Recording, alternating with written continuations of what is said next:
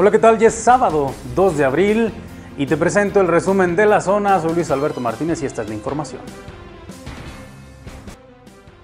Delito de corrupción de niñas y adolescentes aumentó en un 144%. En el estado de Guanajuato, durante febrero, el delito de corrupción de menores registró 26 casos, lo que representa un alza de 144%.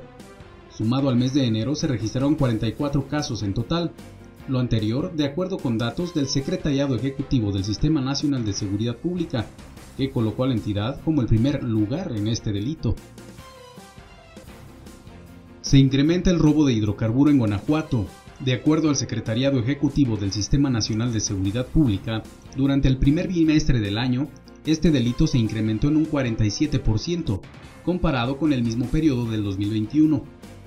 De acuerdo a los datos que proporciona el portal, en enero y febrero del 2021 sumaron 25 carpetas de investigación por robo de hidrocarburo y en el mismo periodo pero del 2022 se han registrado 47 casos. Creció pobreza laboral en Guanajuato durante el 2021. De acuerdo a la organización México Cómo Vamos, en Guanajuato la pobreza laboral se incrementó en un 5.3% al cuarto trimestre del 2021 en comparación con el mismo periodo del 2020. El crecimiento que se detectó en ese lapso pasó de 35.5% a 40.8%.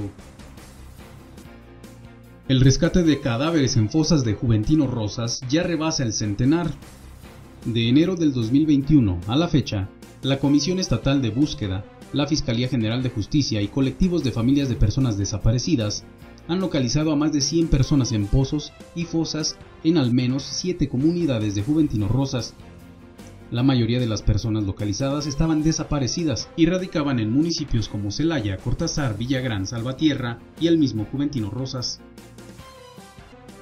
Centralizar CEMEFO complicará funerales e incrementará costos, advierten funerarios. Centralizar los servicios médicos forenses en Guanajuato no solo incrementará el precio de los servicios funerarios, sino que hace que las familias se trasladen varias veces antes de que puedan velar a su ser querido.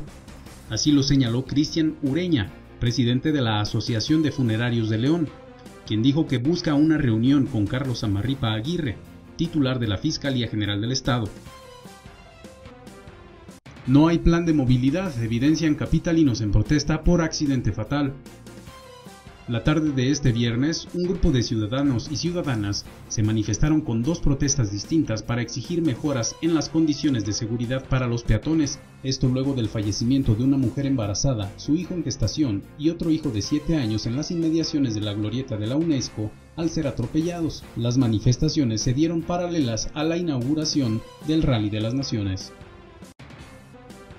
Arranca el Rally de las Naciones en Guanajuato capital la que para muchos es la arrancada ceremonial más espectacular de todo el mundo, se vivió de nueva cuenta a los pies de la alóndiga de Granaditas. Esta vez, no fueron autos del WRC, pero la pasión se quedó intacta. El público de la capital guanajuatense se dio cita en los diferentes puntos de la etapa para ver a los pilotos representantes de 13 naciones.